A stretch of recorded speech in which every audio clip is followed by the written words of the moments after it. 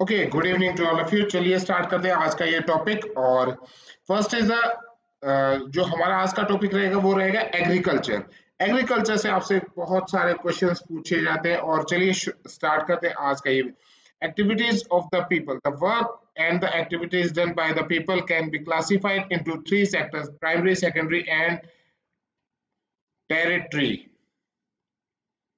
primary sector primary sector में क्या होता है कि एग्रीकल्चर जो हम बिल्कुल जो कोई भी चीज़ का होता है तो बेसिक कहाँ से स्टार्ट होता है? यानी कि जो उसका रॉ मटेरियल है, वो तैयार करना, वो आता है प्राइमरी सेक्टर अंदर। अगर मान लीजिए, अगर हमें कपड़े का काम देखना तो उसमें प्राइमरी क्या होता है? प्राइमरी होता है कॉटन प्रोड्यूस करना। ठीक है? और, मान लीजिए कोई हमें हमारे घर पे कोई भी प्रोडक्ट आता है। फॉर एग्ज़ाम्पल आप लोग चिप्स यूज़ कर रहे हो। चिप्स खाते ना? अंकल चिप्स वगैरह आप खाते हो। तो वो उसका प्राइमरी सेक्टर कौन सा होगा? प्राइमरी सेक्टर होगा जहाँ पर वो पोटैटोज प्रोड्यूस किए जाते हैं। वो फार्म उसका प्राइमरी स्टेप होगा। यानी कि सबसे पहला स्टेप क्या होगा? पोटैटोज तैयार करना। देन उसके बाद नेक्स्ट स्टेप आता है उसकी मैन्युफैक्चरिंग करना। देन थर्ड आता है कि उसकी ट्रांसपोर्टेशन एंड उसको आप तक वो चीज़ कंज्यूमेबल आइटम कस्टमर तक पहुंचाना। ये होता है थर्ड स्टेप एक और एग्जांपल लेके चलते हैं जैसे आप अपने घर में आइसक्रीम खाते हैं सभी बच्चे। आप मुझे लगता है कि आप सभी खाते होंगे।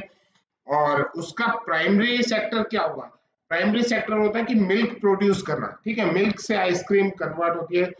देन मिल्क प्रोड्यूस करना वो हो गया primary sector and secondary sector में हो गया उसकी uh, उसकी फॉर्म चेंज करना। ठीक है? मतलब रॉ मटेरियल था मिल्क एंड उसकी हमने फॉर्म चेंज कर दी और उसे हम लेके आगे अपना कंज्यूमेबल आइटम के उसमें हमने मॉडिफिकेशन कर दिया। This is the secondary sector and third sector कौन सा आएगा? जो आप तक वो ट्रांसपोर्टेशन आना देन आपके पास आपको एक रिटेलर uh, आपको वो चीज़ सोल्ड आउट करता है एंड देन आप उस चीज़ को कंज्यूम करते हैं। ये आ गया थर्ड सेक्टर ओके इस तरीके से। एडवर्टीजमेंट एंड उसके बेचने का संबंधित जो भी कार्रवाई करनी होती है बैंकिंग में हर एक चीज़ उसमें थर्ड सेक्टर में next is the agriculture activities agriculture activities में देखिएगा आपके सामने कुछ एक किस किस प्रकार की एग्रीकल्चर एक्टिविटीज़ होती है। एक होता है फ्रूट्स वगैरह फ्रूट एंड वेजिटेबल का प्रोडक्शन करना वो एग्रीकल्चर एक्टिविटीज़ हो गया। एक आ गया कि कुछ आ, मत, ऐसे आइटम्स आपके प्रोड्यूस करना जो आपके मतलब ऑयल या उससे कुछ और चीज़ें हम बनाते हैं। ठीक है, एक आ गया कि हमारा जो अनाज है, अनाज का उत्पादन करना। And third one is rearing of livestock livestock में क्या आता है? लाइव स्टॉक में होता है आपके जैसे बकरी पालन देन उसके बाद भेड़ का। लाइव स्टॉक मतलब जीव, जो ज़िंदा वस्तु है, जो जानवरों से संबंधित है। ठीक है, वो आपके लाइफ स्टॉक में आता है। इसमें आता है मुर्गी पालन पोल्ट्री फ़ार्मिंग देन उसके बाद आपका डेयरी फ़ार्मिंग देन उसके बाद fisheries all these are in life stock ये सभी के सभी लाइफ स्टॉक के अंदर काउंट होते हैं।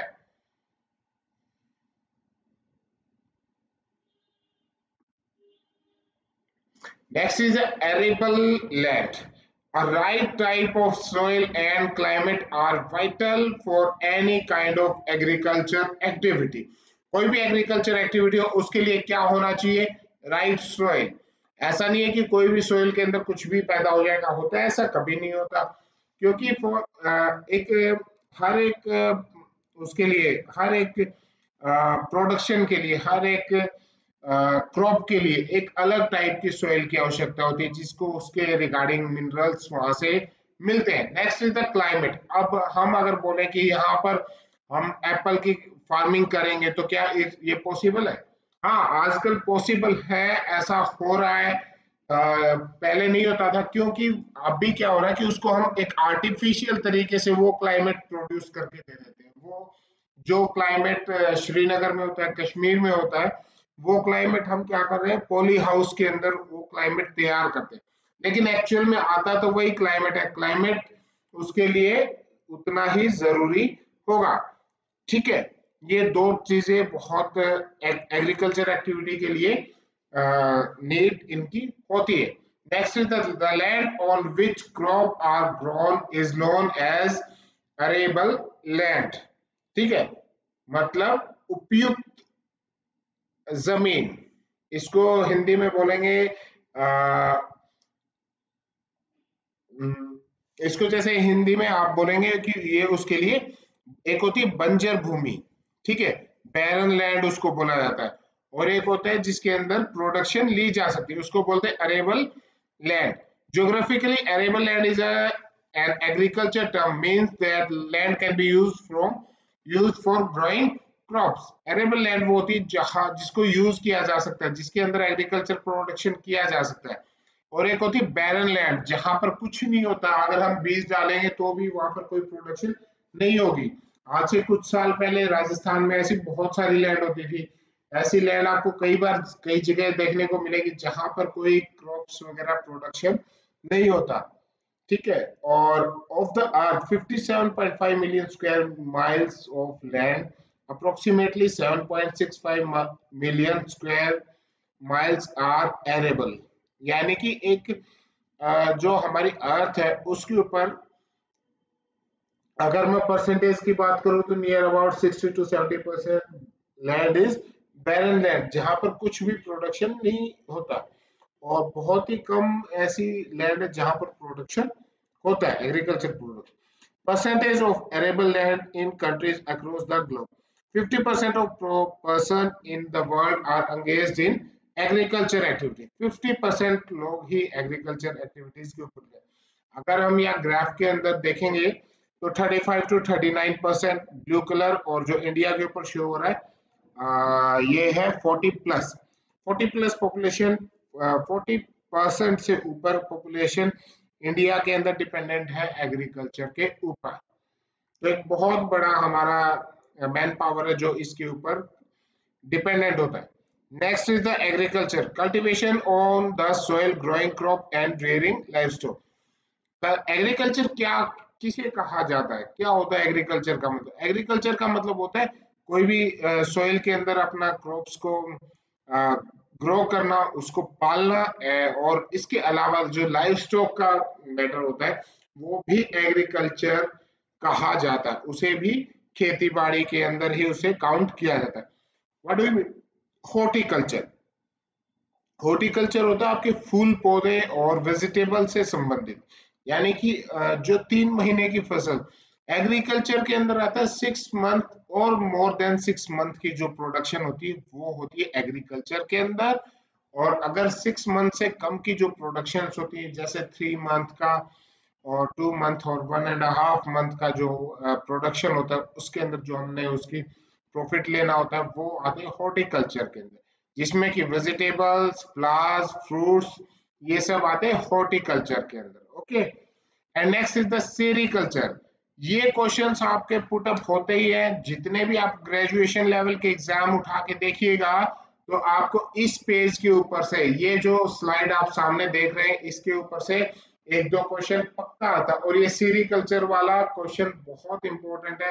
अक्सर आपके कोई भी कॉम्पिटेटिव एग्ज़ाम्स का हम उठा के देखें तो पूछा जाता है सेरिकल्चर किससे रिलेटेड है? और सेरिकल्चर रिलेटेड है सिल्क वॉर्म से।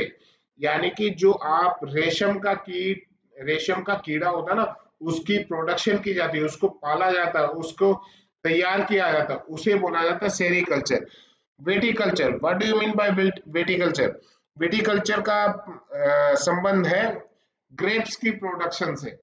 ठीक है, ये महाराष्ट्र वगैरह में ज़्यादा होता है और ग्रेप्स की प्रोडक्शन होती है, उसे बोला जाता है वेटिकल्चर।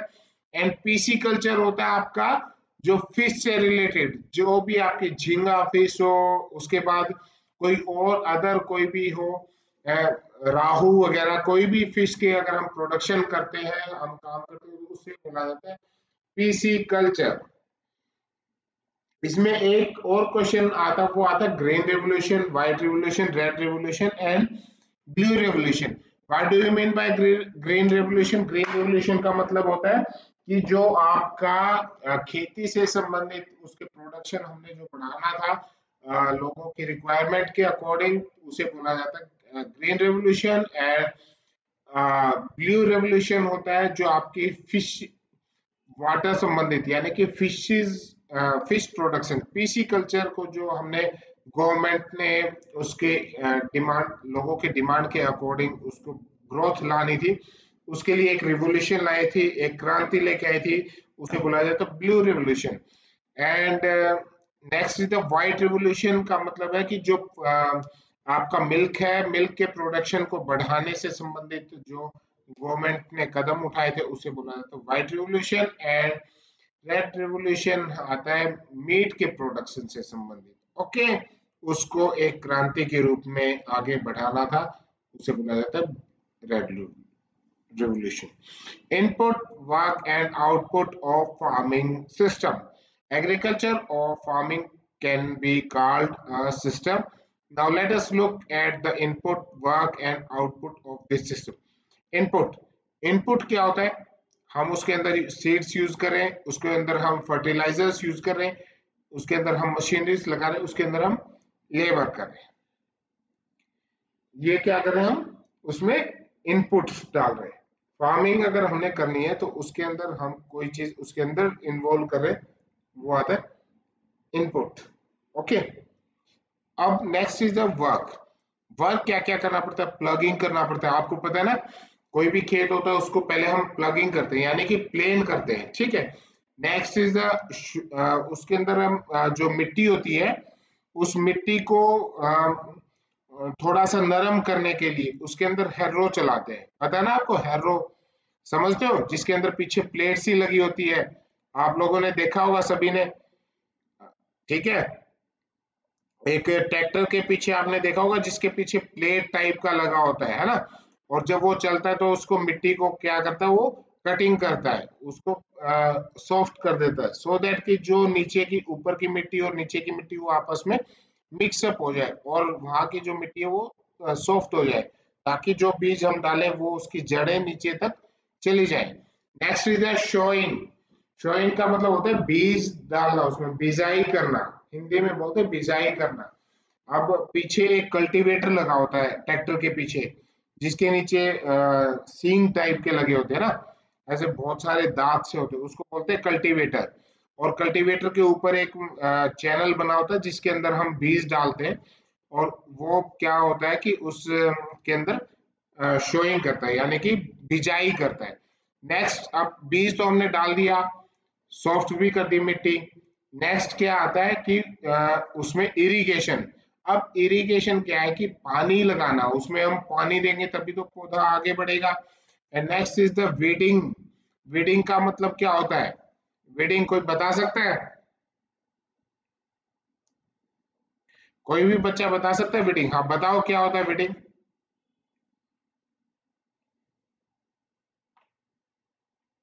हाँ ये पीपीटी आपके पास आ जाएगी स्टडी मटेरियल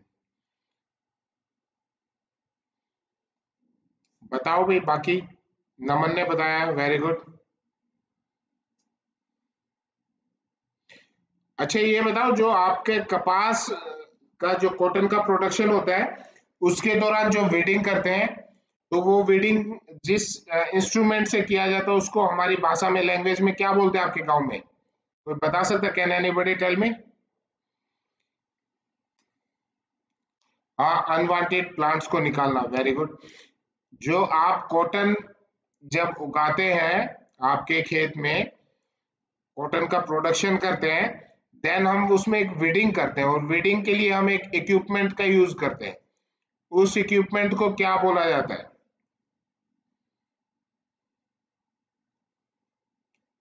होई। हाँ तन में हो सकता है। और खुरपी से तो इतना बड़ा खेत में कैसे होगा? खुरपी से कभी देखा है क्या? खुरपी से तो एक छोटी सी क्यारी के अंदर बीडिंग करते हैं। है ना? खुरपी होता है बिल्कुल छोटा सा एक इंस्ट्रूमेंट वी ब्लेड बिल्कुल। इंग्लिश में वी ब्लेड और वीडी साइड बिल्कुल आप लोग इसका मतलब बहुत अच्छे से देखते हैं। कसी, नहीं नहीं नहीं नहीं नहीं, कसी नहीं। उसको कसोला बोलते हैं, कसोला। सुना है ना?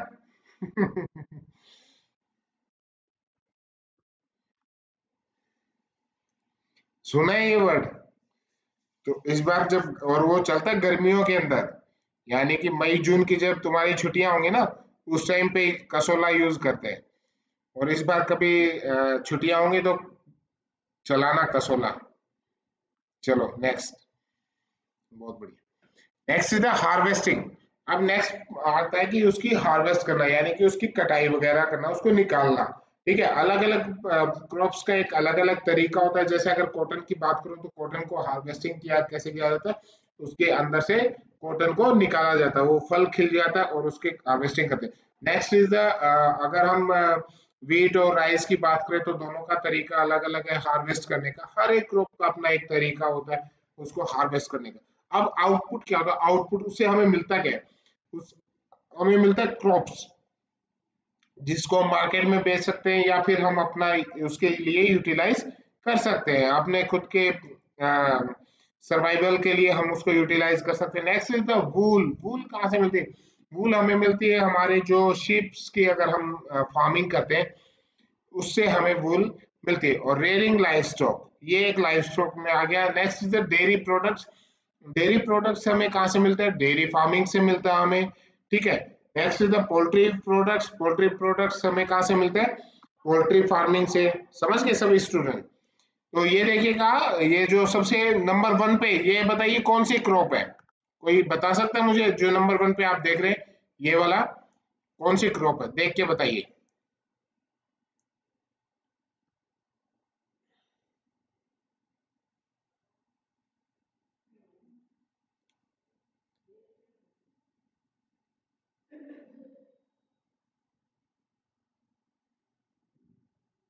स्क्रीन पोज हो गया? ओके ओके ओके ओके मैं चेक करता हूँ।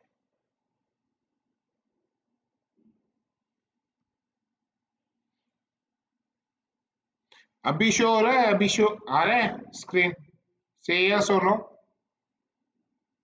ये यहाँ पोज हो गया।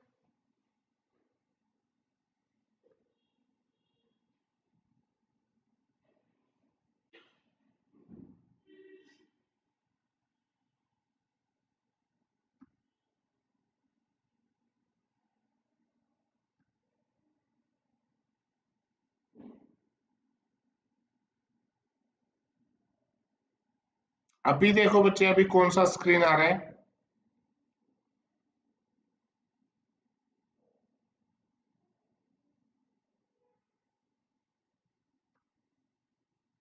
व्हाइट स्क्रीन हो गया करता हूँ करता हूँ।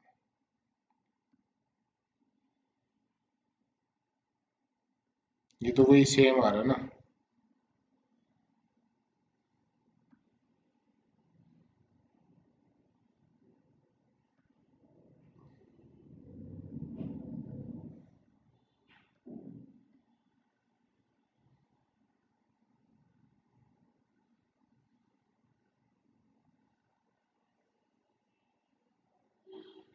मैं एक बार इसको ना एंड क्लास करके दोबारा से इसको करता हूँ, आप लोग कहीं जाना मत, ठीक है?